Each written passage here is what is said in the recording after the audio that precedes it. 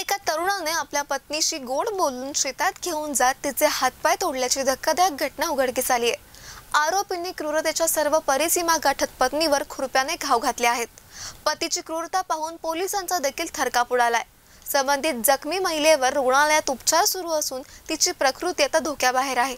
आरोपीनं नेमक्या कोणत्या कारणातून पत्नीवर इतका भयंकर हल्ला केला याची माहिती अद्याप समोर आली नसून पोलिसांनी आरोपीला अटक केली आहे. घटनेचा पुढील तपास पोलीस करत आहेत. पोलिसांनी दिलेल्या माहितीनुसार संबंधित घटना मध्य प्रदेशातील रिवा जिल्ह्यातील सेंदुरा गावातील आहे. तर राम कलेश कोरी असं अटक केलेल्या आरोपीचं नाव आहे.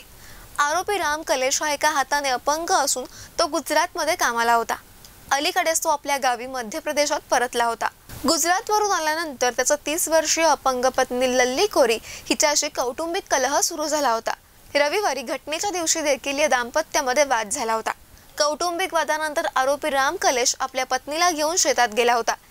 शेतात गेल्यानंतर बेसावध असलेल्या पत्नीवर आरोपीनं खुरप्याने सपासप वार केले आहेत. आरोपीनं पत्नीचे हात आणि पाय धडापासून वेगळे केले आहेत. पतीनं हल्ला केल्यानंतर पत्नी जीवाच्या आकांताने ओरडत होती. किंचाळण्याचा आवाज ऐकून आसपासच्या लोकांनी घटनास्थळी धाव घेतली.